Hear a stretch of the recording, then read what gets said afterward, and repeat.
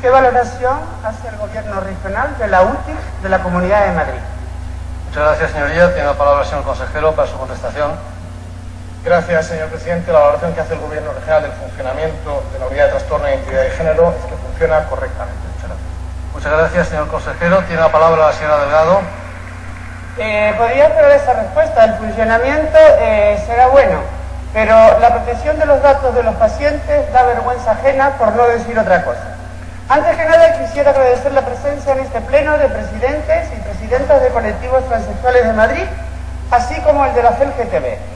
De igual manera se encuentra entre nosotros y nosotros en este pleno eh, propios afectados que se han visto reconocidos en sus nombres y en sus cirugías realizadas desde la intolerable filtración de datos de las y los pacientes transexuales de la Comunidad de Madrid, con el agravante añadido de ser utilizados para mayor escarnio de un colectivo ya de por sí vapuleado en todas las discriminaciones posibles. ¿No han aparecido en una papelera? No, señorías, no han sido, han sido sustraídos a propósito para mayor escarnio, desde la maldad y con clara intencionalidad de dañar.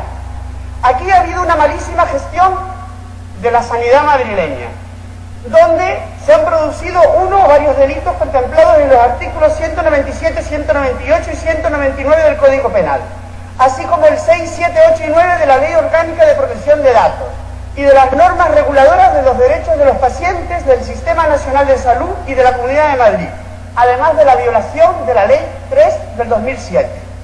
Tal es el estado de pánico que muchos ni se atreven a denunciar por miedo a represalias. Pero ha habido una persona valiente y otra que hace poco me lo acaba de comunicar, que así lo ha hecho. Desde aquí las felicito. Sí, señores, desde aquí las felicito porque la historia de la humanidad nos dice que los grandes avances vienen de la mano de mujeres y hombres con coraje.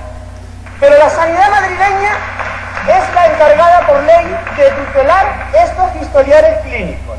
Por lo tanto, es culpable dolosa en la figura de invigilando.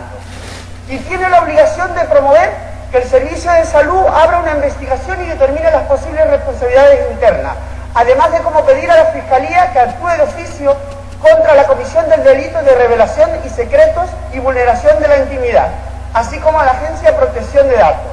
Porque, señorías, o a mí se me escapa algo, o aquí hay una situación demasiado evidente que se pasa por alto.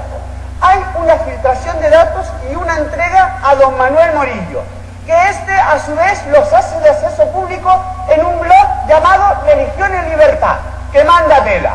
Pues entonces, ¿por qué la Fiscalía no actúa y la policía no interroga a quién los ha difundido?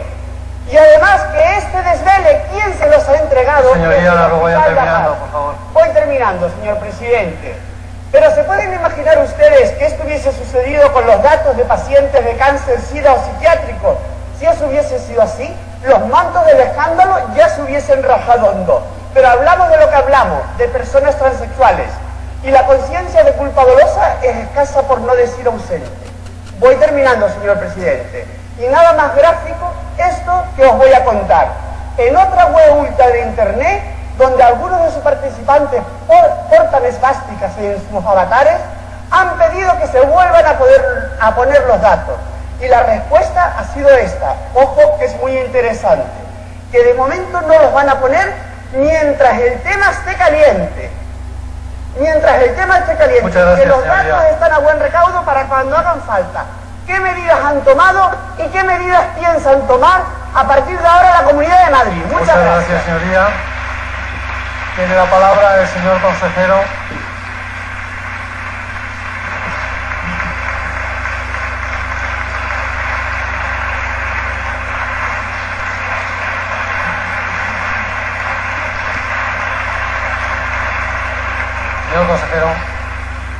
Gracias, señor presidente.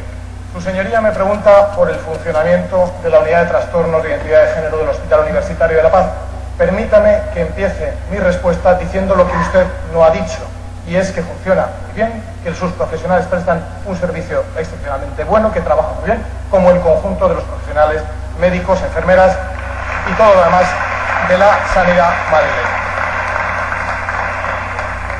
Señoría, hace pocos días se conoció, conocimos que una página web estaba difundiendo datos personales de pacientes atendidos en esa unidad. De manera que lo que hicimos inmediatamente, con fecha 19 de enero, no hoy, sino hace bastantes días, 19 de enero, es abrir una investigación interna, una información con carácter reservado, porque en efecto los datos de los pacientes son confidenciales y nadie tiene derecho a difundirlos de ninguna manera. Y quiero subrayar ante esta Cámara que estamos haciendo lo que corresponde hacer a la Administración con el fin de aclarar el origen de la filtración de esos datos.